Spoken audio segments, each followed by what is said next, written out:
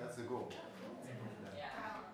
So this is a group of students who is working for a semester on one question, which is how to make society better. And uh, they've worked on many topics, uh, ranging from individual issues to very broad issues, and uh, they have come up with uh, innovative solutions or with big conundrums, and they will share their ideas. So my research really pertains to how could we solve this problem of voter ignorance. Uh, so one of the big reforms I'd like to see made as we move forward in the 21st century is, is educational reform, specifically the incorporation of ethics into both the classroom and the educational system. So if I can make one change in society in my lifetime, I would like to use technology to make education simultaneously more social and more individualized than it currently is. We see that nowadays in least developed countries, people are u- still using the internet in more limited ways, and that by expanding the ability to use the internet, we can actually allow them to create infrastructure for themselves that we couldn't create for ourselves when we were at that level of development. And as we increasingly live in an interconnected world, there is there is great hope that there is that equitable healthcare is a goal that may not be so far off. I think the real problem is sort of redundancy within the system.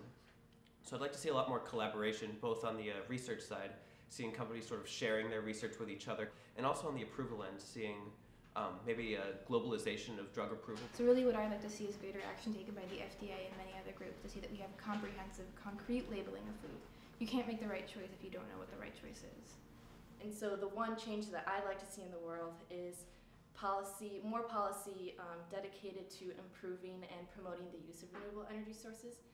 And one of the ways we, I recommend we could do that, or that I would like to see that happen, is the establishment of a sort of department or environmental advocacy group within each government or nation. And then, of course, you know, whether you're a nonprofit, a business, just a student, it, these pricing scales are going to be different for everything. But the big idea that we really need to focus on is that information is accessible to everyone. Everyone can use it. It's very fair to everyone.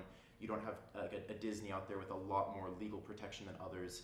Um, it's a very egalitarian sort of society when it comes to copyright law. And this is the main question of my research is is it my right as an individual to do what I want with my own body or is it the responsibility of the state to intervene to protect my health and well-being? But I think a very good place to start would be to make sure that everybody can practice religion as they want to do it. Okay, so I originally started out researching terrorism, um, but that kind of evolved into I researched a lot about Islamophobia, especially here in the United States. Which I think it's important that we recognize and realize that terrorism is a concept that has been around since the beginning of time or since the beginning of recorded history. So understanding terrorism in that larger context will help us then to deal with the root of the problem, which is really extremism and radicalization.